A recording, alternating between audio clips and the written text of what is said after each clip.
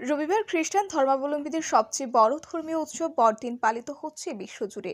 বিশ্বের বিভিন্ন দেশের পাশাপাশি বাংলাদেশের খ্রিস্টান ধর্মাবলম্বীরাও আনন্দে মেতে উঠছেন।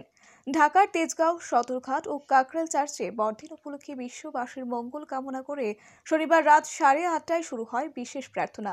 খ্রিস্ট ধর্মাবলম্বীরা ধর্মীয় আচার, আনন্দ উৎসব ও প্রার্থনার মধ্য দিয়ে বড়দিন উদযাপন করেন। রঙিন বাতি দিয়ে ক্রিসমাস ট্রি সাজানো বিশেষ প্রার্থনা।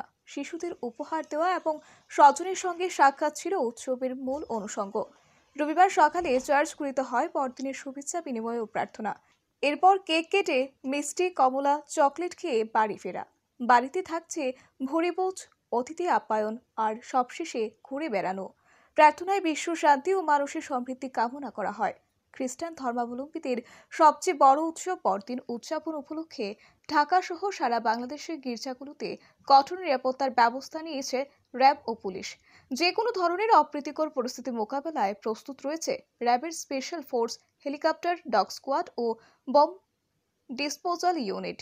ঢাকায় গুরুত্বপূর্ণ স্পটে গোয়েন্দা নজরদারি বাড়ানো হয়েছে। এছাড়া বিভিন্ন স্থানে র্যাবের চেকপোস্ট স্থাপনের মাধ্যমে সন্দেহভাজন ব্যক্তিদের তল্লাশি করা হচ্ছে। অনলাইনে মিথ্যা অপচার ও গুজব ঠেকাতে র্যাবের সাইবার মনিটরিং টিমের সার্বক্ষণিক নজরদারি রয়েছে। বড়দিন উপলক্ষে রবিবার সরকারি ছুটি। সরকারি, বেসরকারি, রেডিও, টেলিভিশন, সংবাদপত্রগুলো বিশেষ অনুষ্ঠান ও প্রকাশনার মাধ্যমে দিনটির তাৎপর্য তুলে ধরছে। দিবসটি উপলক্ষে খ্রিস্ট ধর্মাবলম্বীদের শুভেচ্ছা জানিয়ে বাংলাদেশের প্রধানমন্ত্রী শেখ হাসিনা ও রাষ্ট্রপতি মোহাম্মদ আব্দুল হামিদ। এটা আসলে ওভাবে অত বড় করে বলতে গেলে অনেক বিষয়।